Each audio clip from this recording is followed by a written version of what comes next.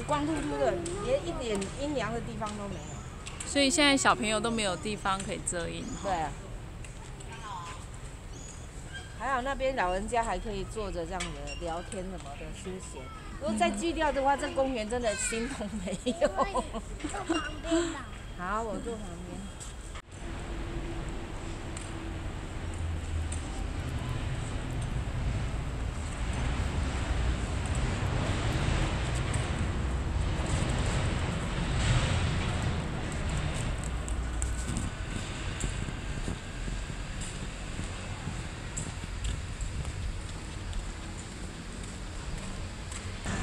原本茂密的。